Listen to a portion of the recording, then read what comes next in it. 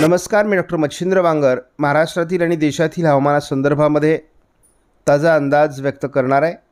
सध्या भारतामध्ये आणि महाराष्ट्रामध्ये भविष्यात कशी पावसाची परिस्थिती निर्माण होईल याविषयीचा हा अंदाज आहे. बिपरजॉय चक्रीवादळ आता जवळपास उत्तर प्रदेशपर्यंत पोहोचला आहे. हा हलकासा अंश कमी दाबाच्या स्वरूपात अजून अस्तित्वात आहे. म्हणजे उद्या याचा प्रभाव संपण्याची शक्यता आहे. वीस एकवीस तारखेला महाराष्ट्रामध्ये फारसं पावसाचं वातावरण असणार नाही. मात्र बावीस तारखेला सोलापूरच्या दक्षिणी भागामध्ये आणि कोकण किनारपट्टीला पावसाचा प्रभाव सुरू होण्याची शक्यता आहे.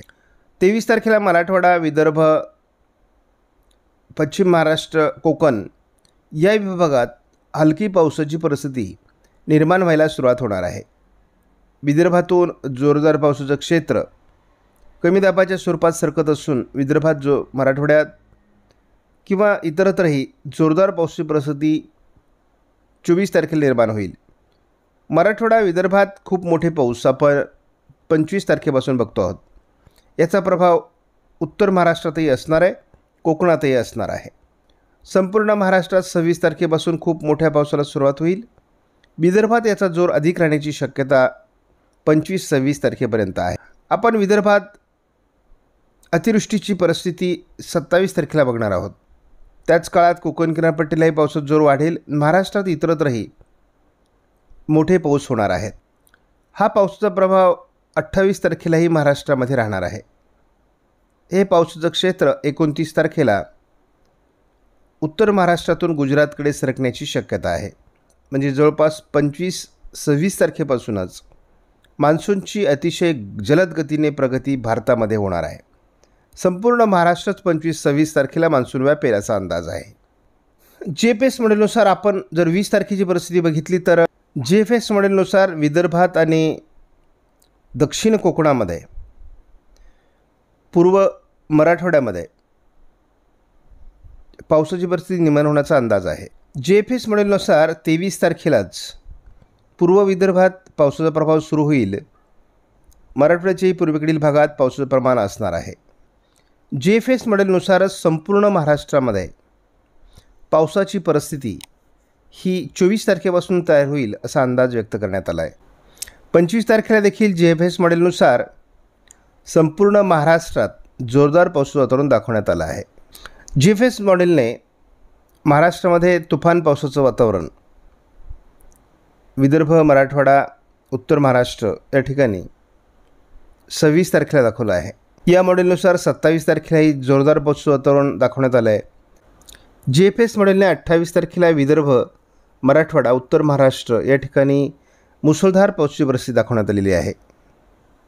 महाराष्ट्रात एकोणतीस तारखेपासून पावसाचं प्रमाण कमी होईल परंतु मध्य महाराष्ट्र उत्तर महाराष्ट्र कोकण या विभागात पावसात जोर राहणार आहे. जी एफ एस मॉडेलनुसार दीर्घ अंदाज बघितल्यास तीस तारखेला पावसाचं प्रमाण कमी होण्याची शक्यता महाराष्ट्रामध्ये दिसते. आहे बंगालच्या उपसागरात नवीन कमी दाब एक जुलैला तयार होण्याची शक्यता आहे. विशाखापट्टणमच्या दिशेने आणि ओरिसा मार्गे हा नवीन कमी दाब पुन्हा महाराष्ट्राच्या दिशेने सरकण्याची शक्यता आहे. या मॉडेलनुसार तीन जुलैपासून पुन्हा जोरदार पाऊस महाराष्ट्रात तयार होणार आहे. याचा प्रभाव विदर्भात अधिक असेल. चार तारखेलाही कमी दाबाचा प्रभाव महाराष्ट्रात असण्याची शक्यता आहे. पाच जुलैला देखील महाराष्ट्रात जोरदार पावसाची परिस्थिती दाखवण्यात आली आहे. उत्तर भारतामध्ये अजूनही बिपरजॉय चक्रीवादळाचा प्रभाव आहे. थोडं उत्तर महाराष्ट्रामध्ये पावसाळी वातावरण तयार होण्याची शक्यता या मॉडेलने दाखवली आहे. आपण बघतो बावीस तारखेला गोवा आणि अगदी रत्नागिरी सिंधुदुर्गपर्यंत पावसाच्या प्रमाणात वाढ होण्याची शक्यता आहे. आपण बघतो तेवीस तारखेला संपूर्ण कोकण किनारपट्टीला पावसाचं प्रमाण वाढणार आहे. एकूणच जवळपास नाशिकपर्यंत हे प्रमाण वाढत असल्यामुळे तेवीस तारखेला मान्सून कोकणात दाखल होईल. चोवीस तारखेला आपण हवामानात मोठा बदल बघतो आहोत. पूर्वेकडून पावसाचं तरुण विदर्भात सरकण्याची प्राथमिक शक्यता अजूनही कायम आहे.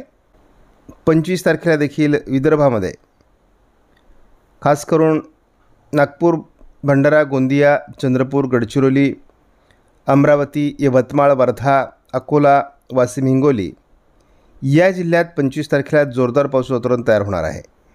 हे वातावरण बहुतांशी उत्तरेकडे सरकण्याची शक्यता आहे. तरी देखील पंचवीस तारखेला अगदी जळगाव धुळे नंदुरबारपर्यंत हे पावसाचा प्रभाव तयार होणार आहे. आत्ताच्या अंदाजानुसार सव्वीस तारखेला सकाळपासूनच उत्तर महाराष्ट्र विदर्भ या ठिकाणी जोरदार पाऊस वातावरण राहणार आहे. कोकण किनारपट्टीला याचा प्रभाव राहणार आहे.